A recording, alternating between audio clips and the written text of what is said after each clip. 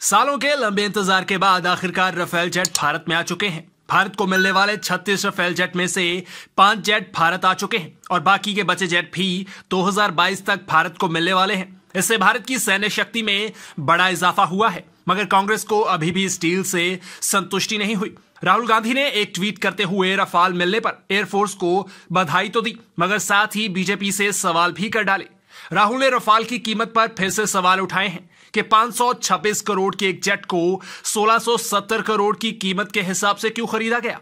और 126 जेट की बजाय सिर्फ़ 36 जेट ही क्यों खरीदे गए? और एच की जगह दिवालिया हो चुके अनिल अंबानी की कंपनी को तीस हज़ार करोड़ की डील क्यों दे दी गई? आपको बता दें कि कांग्रेस बीजेपी पर रफाल डील में स्कैम करने के इल्ज़ाम लगा चुका है। कई बार बीजेपी को इस मुद्दे पर घेरा जा चुका है। कांग्रेस के इन सवालों का हालाँकि बीजेपी पहले ही जवाब दे चुकी है। रफाल की कीमत को लेकर बीजेपी का कहना है कि जो डील कांग्रेस कर रहा था, उसमें सिर्फ़ बेसिक एयरक्राफ्ट मिल रहे थे।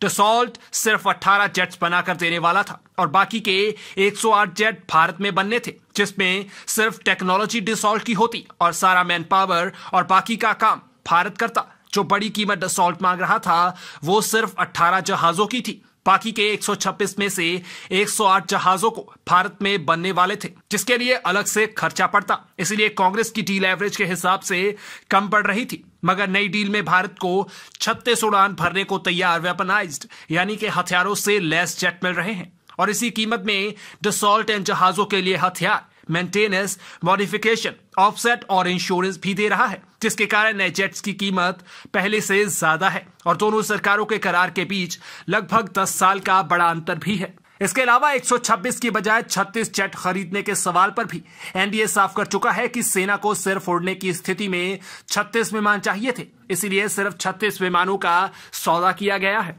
अनिल अंबानी को तीस हज़ार करोड़ की डील दिलवाने के इल्ज़ाम पर भी भाजपा ने कहा था कि ऑफसेट डील के तहत खुद डसॉल्ट ने यह तय किया है कि वो किन कंपनियों के साथ ये ऑफसेट समझौता करना चाहता है। खुद डसॉल्ट ने अनिल अंबानी को चुना है। तीस हज़ार करोड़ के ऑफसेट समझौते में। अनिल अंबानी की कंपनी के अलावा डिसॉल्ट ने समझौते के लिए और भी बहुत सारी कंपनियों को चुना है। अनिल अंबानी की कंपनी लगभग 800 करोड़ के करार में ही शामिल है। तीस हज़ार करोड़ का समझौता डिसॉल्ट और भी बहुत सारी कंपनियों के साथ शेयर करने वाला है। हालाँकि इस मामले में नई डील में मिलने वाले जेट की कीमत को डील की शर्तों के चलते गोपनीय रखा गया है। मगर एनडीए यह दावा करता रहा है कि यह डील यूपीए की प्रस्तावित की गई डील से ज़्यादा किफायती है। सूत्रों की माने तो यूपीए जो डील टसॉल्ट के साथ कर रहा था, वो कभी फाइनल ही नहीं हो पाई थी। यानी रफाल की जो कीमत यूपीए अक्सर बताता रहा है, उस कीमत के साथ टसॉल्ट ने कभी कोई डील फाइनल ही नहीं की।